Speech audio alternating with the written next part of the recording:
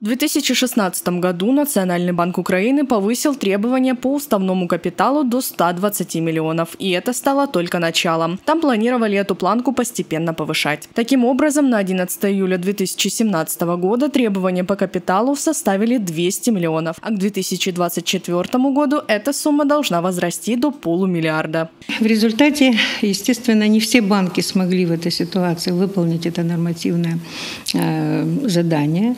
Сегодня Сегодня у нас на последнюю дату, это по результатам первого квартала 2017 года, у нас 34 банка не э, выполнили это нормативное обязательство. А ведь эти 34 банка составляют почти 40% от общего количества банков всей страны. Но специалист уверена, выход есть, и их даже несколько. Во-первых, увеличить размер уставного капитала могут сами собственники личными средствами или же привлечь иностранный капитал, либо перенаправить дивиденды. А вот третий, самый оптимальный, по мнению эксперта, вариант – это реорганизация или слияние банков.